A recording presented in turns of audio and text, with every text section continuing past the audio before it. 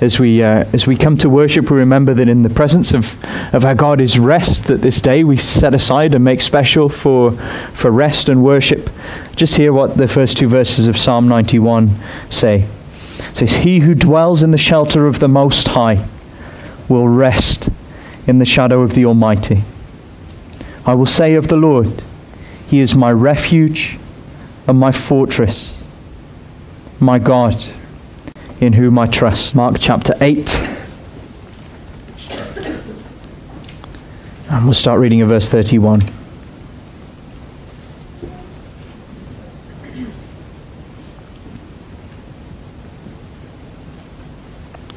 He then began to teach them that the Son of Man must suffer many things and be rejected by the elders, chief priests, and teachers of the law, and that he must be killed and after three days rise again. He spoke plainly about this. And Peter took him aside and began to rebuke him. But when Jesus turned and looked at his disciples, he rebuked Peter. Get behind me, Satan, he said. You do not have in mind the things of God, but the things of men. Then he called the crowd to him, along with his disciples, and said, If anyone would come after me, he must deny himself, take up his cross, and follow me.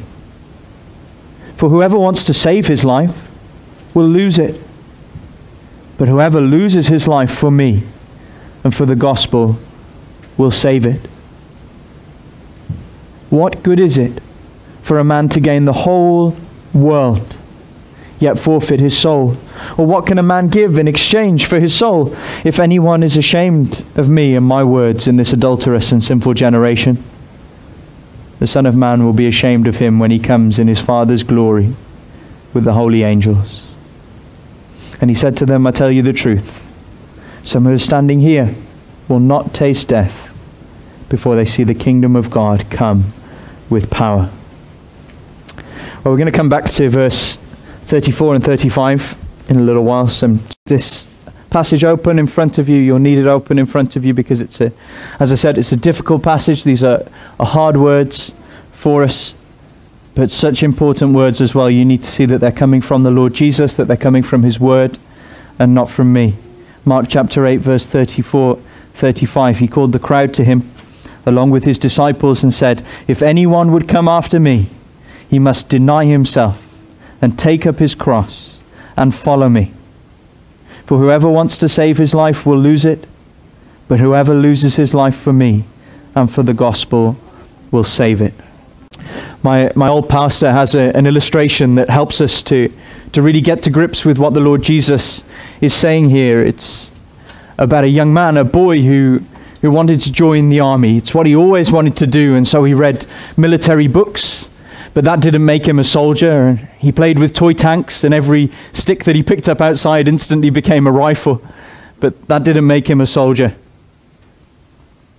He watched parades and would go to Anzac Day and, and march along with his chest out and his arms swinging and his back straight. But that didn't make him a soldier.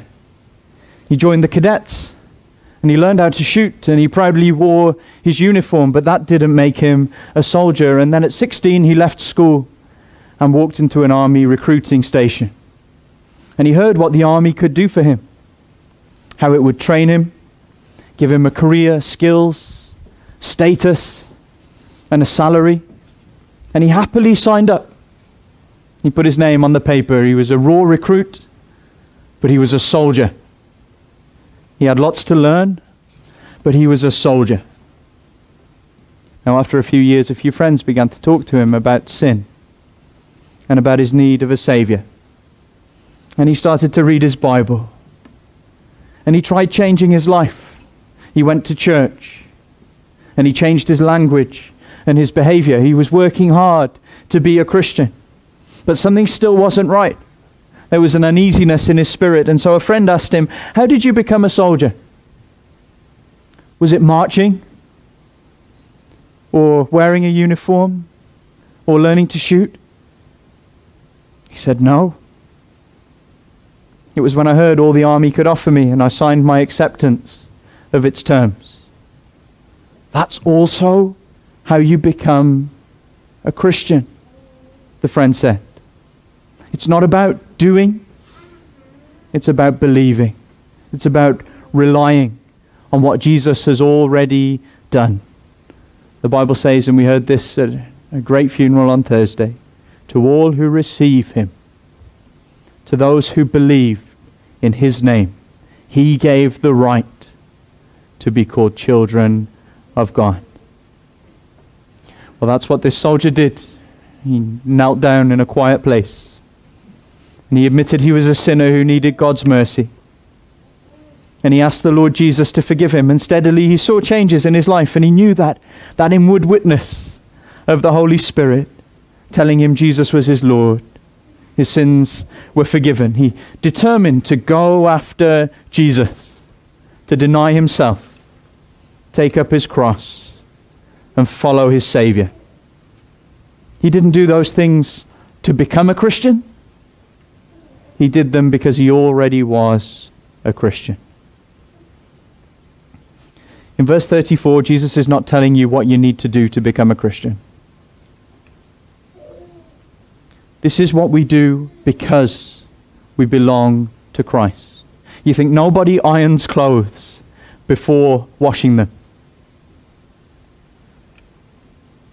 So it is with us. First, we need to be washed from the stains of our sin. We need to be made clean by what Jesus has done for us, dying on the cross, shedding his blood for us. Then the Holy Spirit helps us iron. Then he comes in and shows us where we straighten out our lives, works with us to live a life that honors Jesus and shows him as worthy. Now, the Lord Jesus here identifies three hallmarks of the Christian life, and you see none of them are options. If anyone would come after me, he must deny himself. And then not just do that one, but maybe not the other one. He must deny himself and take up his cross and follow me. There's no wiggle room there. It's not about doing one of the three. And so, as a test for everyone here this morning, are you really a Christian? Now, you think about a paternity test. You can ask that father, Is this child yours? And he can say yes, but that's not the answer.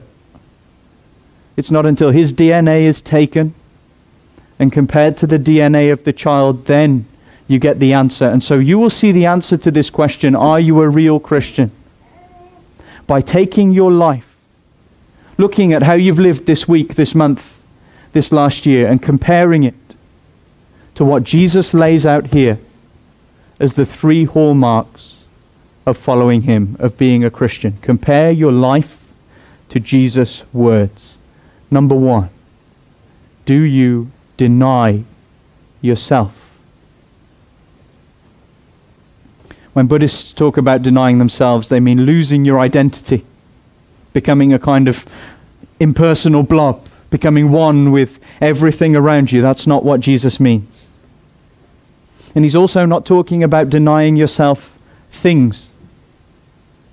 See, denying yourself isn't abandoning good passions and desires. It doesn't mean hanging up your rifle or your car keys or your crochet hook. For some of you, it might mean that. But that's not what Jesus is saying. Because you can give up all those things and still never deny yourself. There's a man named Henry Thoreau who went to live alone in a, a, log cabin. He left the city and went into the American wilderness. He denied himself comforts, activities, relationships that he loved. And he wrote a book all about his experience. Why did he do that? Well, he did it for himself. He did it so that people would admire him and buy his books and invite him to dinner parties so that they could hear about his experiences. He wanted the admiration of people as an author and an explorer. He gave up lots of things, but he never denied himself. The Lord Jesus makes his meaning clear in verse 35. For whoever wants to save his life will lose it. But whoever loses his life for me and for the gospel will save it. And so every one of us has a choice. You can live for yourself, or you can live for Jesus. You can try holding on to your life Keep yourself as number one, but eventually that will cost you everything because you can't save yourself. You can't buy yourself back from sin and from hell. And so you'll stand before God and you'll say to Him, Look, I did everything in my power to get into heaven. I did all that I could to save my life. And God will say, But you've lost it. By holding on to it, you've, you've lost it. You've done the one thing that you needed to do to, to lose it. I warned you, you're a sinner, that you're lost without Jesus, that you needed help outside of yourself. Or you can stand before God having given up on self, having lost your life, having given it to Christ. Having said, I can't do this by myself, I can't earn my way to heaven, and so I need somebody else to take over. And then when you meet your Creator, well, He'll swing wide the gates of heaven. He'll say, Welcome into my eternity. You gave your life to Jesus, and so it is safe with Jesus. This talk of denying self is actually legal language. It means giving up on your rights. And you think how countercultural that is. In a world that, that just loves its rights. Today, people are obsessed with their rights. Each week, new rights are declared by the UN as human rights. Internet access is a human right. To cut somebody off is to deny them their human rights. Jesus says, My people don't live like this. They've lost their lives. They've given them to me. They've declared themselves dead and given up any rights that they had when we fled to, to Jesus for forgiveness. We gave up our right to choose how we will live and what we will do. The reality is, we never had that freedom anyway because we were bound to sin before we were bound to Christ. But now we've become slaves to Christ, slaves to his righteousness. We're no longer looking to advance ourselves, but Christ's cause. Not clinging to my rights, but living for Christ's right as King. Now, what does that look like in real life? There's the theory. What does this look like for us? Well, it looks like John the Baptist, who had these incredible gifts for ministry and preaching and could have made himself the greatest preacher in Galilee, could have taken it by storm, but instead says, Jesus must become greater and I must become less. It looks like a Christian giving up a chance to, to make themselves wealthy and comfortable and, and secure to serve Jesus in an obscure little town somewhere, like Dr. Lloyd Jones did when he left his surgery to preach in Aberavon. He looks like my old pastor. The last time I saw him, I, I thanked him for his sermons and said, I use them when I'm preparing my own. He said, You use them as much as you want and you don't think about quoting me. He's a respected author. But he wouldn't insist on his right to be acknowledged. His concern is for Christ's glory and for his church. It looks like you, Christians, giving up on activities that are, that are going to take you away from God's word and from his people. It means cutting out on things that, that we want to do but that are going to harm our relationship with God. It's about you willingly looking foolish to speak to someone about Jesus. It's about giving up your precious time and your energy to help a family that needs your assistance as they move on Gypsy Day or when tragedy comes into their lives. Our world is constantly telling you if you want something, insist on your way, go and get it. But the first hallmark of Christianity is that you be totally different. And you say with the Apostle Paul, I've been crucified with Christ. And so it's no longer I that live. It's no longer my way but it's Jesus who lives in me. The second hallmark is that you take up your cross. When Churchill became Prime Minister in 1940, he famously said, I've nothing to offer but blood, toil, sweat, and tears. That perhaps wouldn't be a, a very successful campaign slogan today, would it? But he's saying to the people of Britain and to the world, this is how I'm going to win this war. And this is what you can expect if you want to come with me. Jesus said in verse 31 the Son of Man must suffer. He's going to suffer. And now he says, if you're going to follow me, you must suffer too. You see, nobody in this crowd misunderstood what he's saying. When he talks about the cross, he's not talking about temporary inconvenience, but a guarantee of grueling death. A man who took up his cross was not going to be home for supper. He was a dead man walking. Now, I want to say that the cross that we carry is different from the thorn in the flesh. They're two different things. There are some sufferings that we experience as a consequence of just being human. They're things that we face because we live in a broken world, and so you've got a rude next door neighbor, or a hard boss, or a, a tongue that gets you into trouble or a physical weakness. People say, oh, you know, it's just, it's my cross to bear. No, it's not. Those difficulties are sanctified to you, Christian. They have a, a meaning that your friends' sufferings don't have. But in their nature, in what they are, they're no different from the challenges your non Christian friends face. Everyone has hardship, but only Christians carry their cross. It's the suffering that we face purely because we follow Jesus hardship that, that we could escape. It's suffering that we could get out of if we just denied our Lord. Suffering we could avoid if we refused to love and obey the Lord Jesus, just as Jesus himself could have avoided his cross if he refused to love and obey God. If only he would have said to the Pharisees, I'm sorry, I'm going to stop preaching. If he'd said to Herod, I'll, I'll, be your plaything, I'll keep people entertained, I'll be the court jester and keep you marveling at my miracles, just keep me away from Calvary. He could have said to Pilate, I'm an innocent man, I've done nothing wrong, and Pilate would have had to act on his behalf. But he didn't. He went to the cross willingly.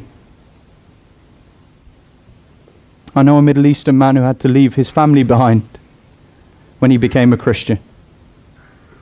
That's his cross to carry suffering because he loves the Lord Jesus. I've got another friend, Mohsen, who was tortured in Iraq after leaving Islam. Policemen hung him from the roof of a building by his ankles and smashed his kneecaps with a baseball bat. He'll never walk properly again. He was a professional footballer. And now he'll never walk properly again. He'll never play the sport that he loved again. That's part of his cross to carry. Now, our crosses are not so rough but they are certainly heavy. And it still hurts us when friends mock.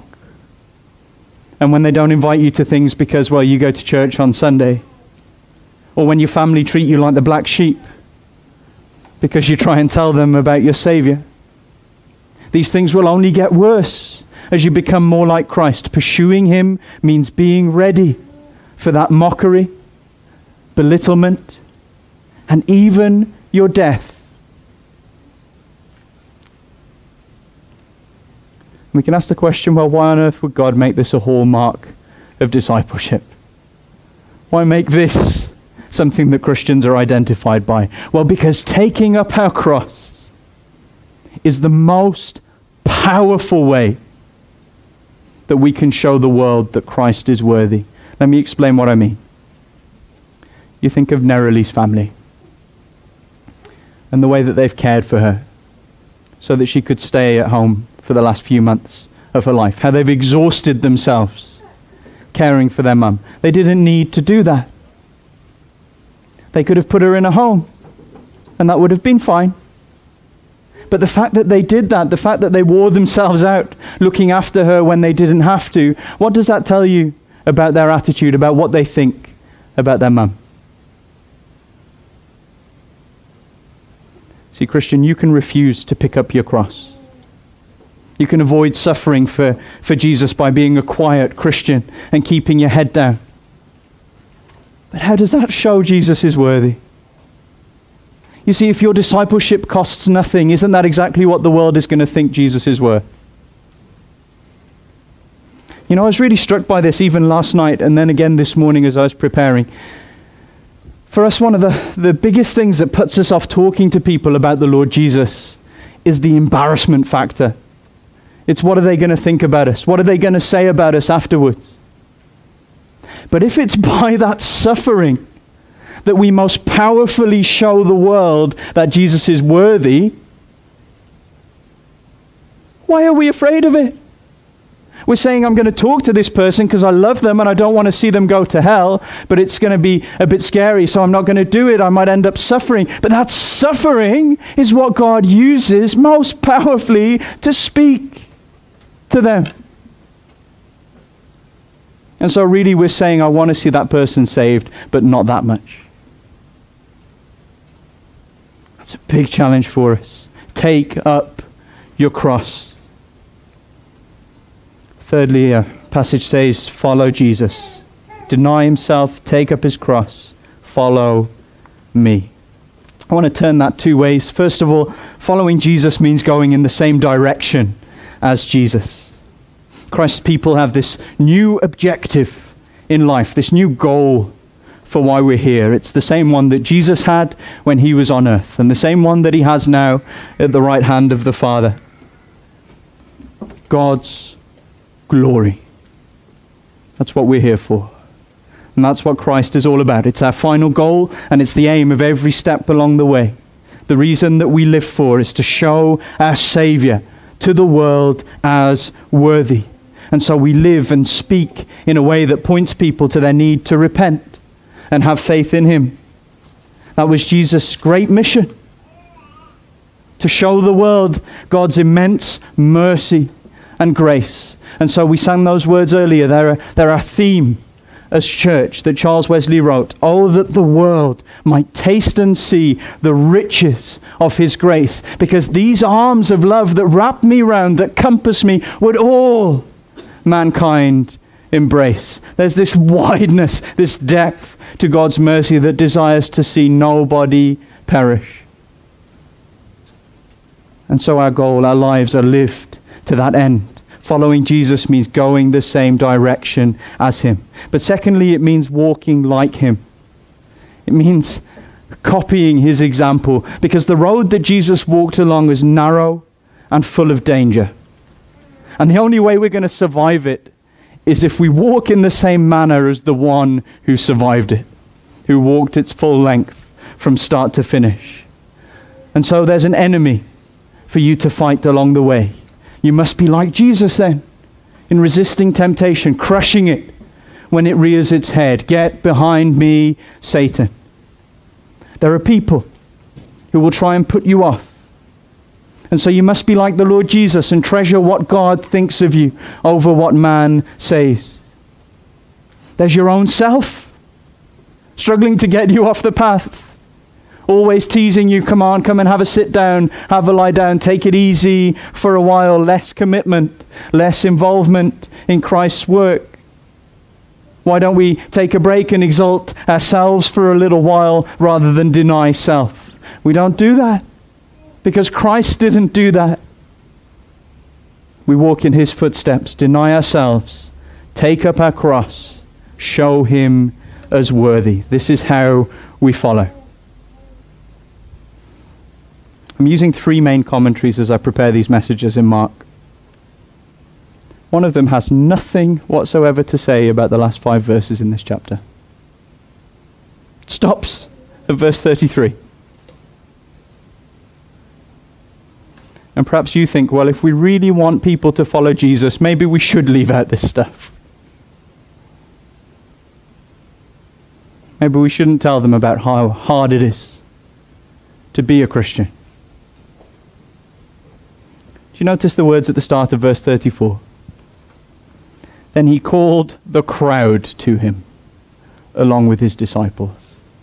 See, Jesus has been speaking privately, closely, with his close friends, his close followers. And they've heard how he's going to suffer. But now, when he's going to talk about how his followers need to suffer, he calls everyone in. You all need to hear it, these words about trial and challenge and suffering. They're not said in a back room, whispered to a few select people. Come on, we want to leave this out until they're saved. Let's get people saved, and then we can tell them about how hard it's really going to be. It's not like that. If you want to become a Christian, you need to know that your life on earth will be marked by self denial, suffering, and possibly death. And you need to ask yourself in all seriousness is this really the life I want? You ask that question, but you make sure you ask it with eternity in mind. You weigh it out now. Think about this. On one hand, you can be semi comfortable because you're never going to be entirely happy here, no matter what you have. You only have to look at the examples of the richest men in the world, and you'll see that there's still that desire for more, still wanting more things, more security, more pleasure. So you can be semi comfortable in this unstable, broken world of cancer, murder, child abuse, mental illness, anxiety, and uncertainty. And then go and be in hell forever. Or you can suffer for the Lord Jesus. And you can put in the hard yards for the one who suffered for you, who laid down his life to secure your eternal heaven. Which one will it be? Is it worth losing my difficult life on earth to save my soul forever? You see, when we look at our 70, 80 year lives in view of eternity, while suddenly denying self, taking up our cross, following Christ, they seem like no sacrifice at all. I'm giving up rags for a robe. I'm coming out of the tent to have a mansion in heaven. So come on. Are you still going to hold on to this world, which is already fading away, rather than coming to, clinging to Jesus? Will you still choose things over the treasure of knowing God as your Father and following His Son through this life?